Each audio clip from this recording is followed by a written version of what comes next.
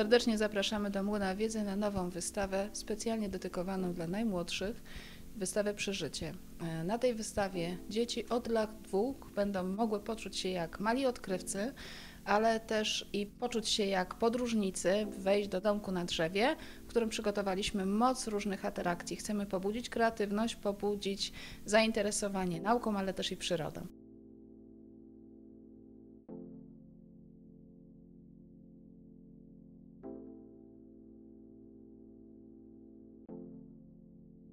Oprócz eksponatów związanych z przyrodą, e, mamy też eksponaty e, bardziej mechaniczne, które pozwolą poznać świat nauki już od najmłodszych lat.